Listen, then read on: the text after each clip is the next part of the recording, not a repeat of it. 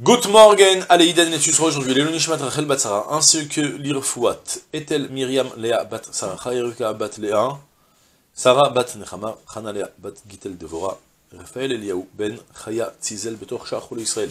Si vous souhaitez aussi une prochaine étude de Mishnah contactez la communauté éternelle, nous débutons aujourd'hui le quatrième Perek, Peridalet Mishnah Aleph, Makom Shenago Lasot Menacha Bar Vepsachim, Ad Chatzot Osin, Makom Shenago Shelo Lasot En Osin. ההולך ממקום שעושין למקום שאין עושין, או ממקום שאין עושין למקום שעושין. נותנים עליו חומרי מקום שיצא משם, וחומרי מקום שהלך לשם, ואל ישנה אדם מפני המחלוקת. Je traduis directement, on change de sujet. On est en train d'évoluer vers Pessah davantage, et puis après, dans tout ce chapitre, en fait, on va surtout parler de euh, je traduis la première phrase, un endroit où on a l'habitude de faire des travaux, ouais, un endroit où on a l'usage, le minag, de faire un travail, de réaliser un travail, la veille de Pesach, jusqu'à Chatzot, de la, mi-journée, au sin, on pourra faire, et makom shenagu shelola asot en osin. Mais dans un endroit où on a, eu, on a adopté l'usage de ne pas travailler, alors en osin. En fait, on va parler dans ce chapitre du jour particulier du 14 Nissan. C'est le jour où on va porter le Korban Pessah dans l'après-midi. D'accord? Le Yerushalmi explique que parce qu'on va porter le Korban Pessah dans l'après-midi, alors l'après-midi, c'est considéré comme un jour de fête. Il y a la lachot de veille de Pessah qui ont le même statut que Chol Moed, un petit peu plus permissif. Chaque fois qu'on verra une marloquette dans Chol Moed, ce sera permis dans l'après-midi du 14. Mais à, la, base, on fait adopter les lois de Cholamoued depuis le 14 Nissan dans l'après-midi. D'accord? On ne peut plus coudre, il ne peut que finir un petit travail pour... Il y a de, toutes sortes de, de, de Ça, c'est depuis l'après-midi du 14. Maintenant, la Mishnah nous dit, sache que maintenant, il y en a qui ont adopté l'usage, une chumra, depuis le matin de s'abstenir de travailler.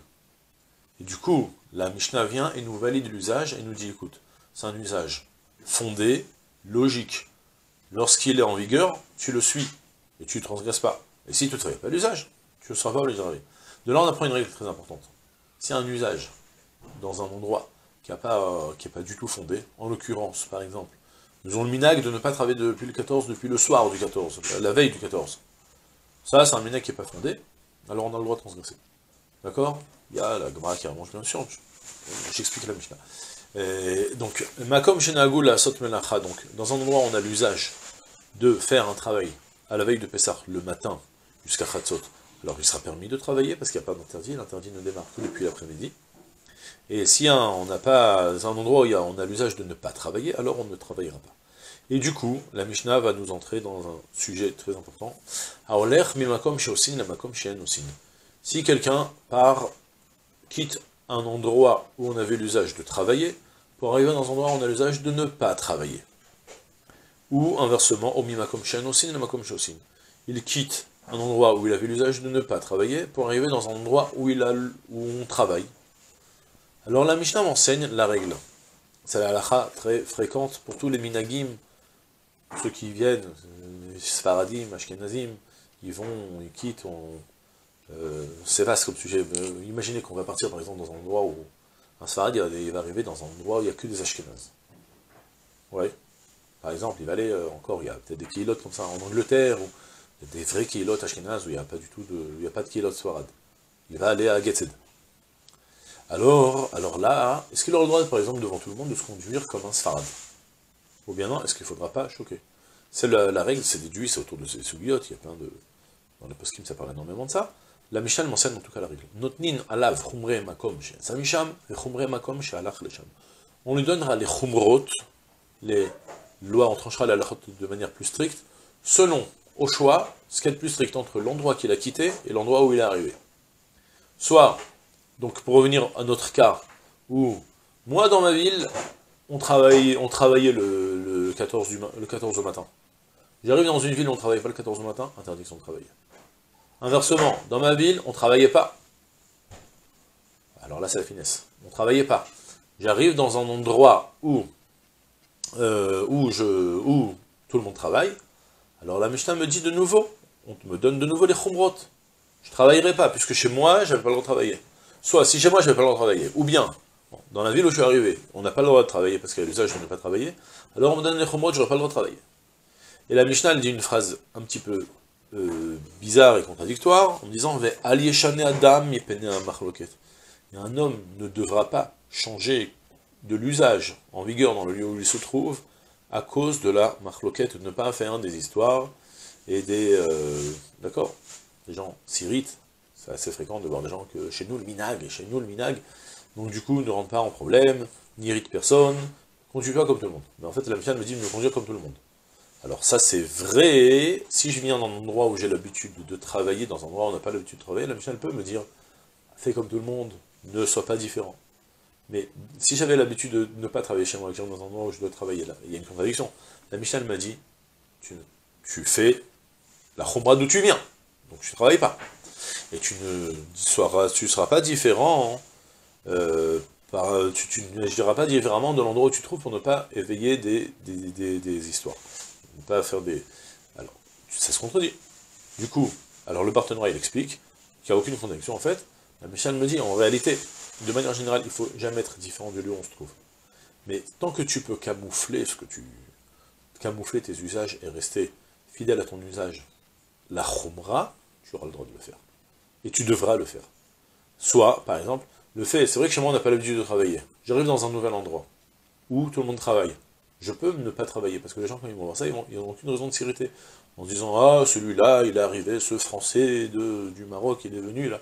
Et non, il n'y a pas de problème. Pourquoi? Parce que les gens vont dire, bah, il ne travaille pas parce qu'il n'a pas de travail.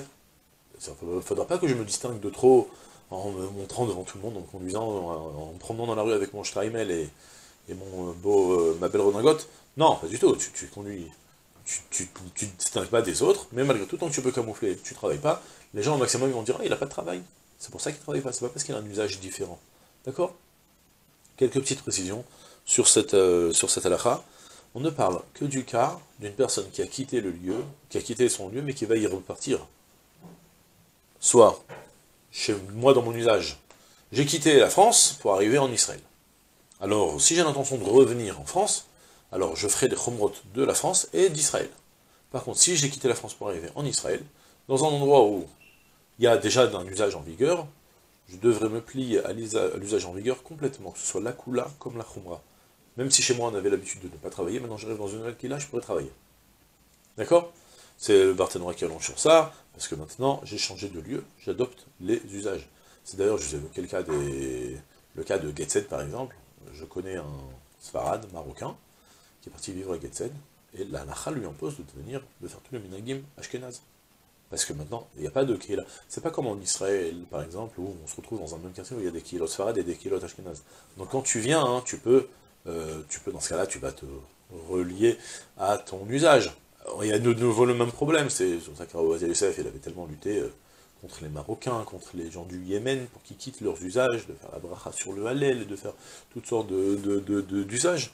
Et du coup, après, c'est soulever la question, si toutefois on fonde une Keila de Marocains en Israël, est-ce qu'on aura le droit de continuer le Minagim, et des, des, des, des Yémanim, aussi?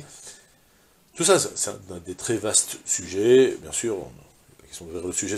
J'ai juste ouvert le, éveiller les, questions qui se soulèvent autour de ça. En tout cas, on retenait juste ce qu'il nous dit le Barthénora. Toute notre mission qui nous dit que tu fais le chomod de d'où tu viens et là où tu arrives, c'est que lorsque tu as l'intention de repartir chez toi. Mais si tu viens dans le nouvel endroit, tu adoptes les nouveaux usages en vigueur. Et c'est tout pour aujourd'hui. Je vous souhaite une journée pleine de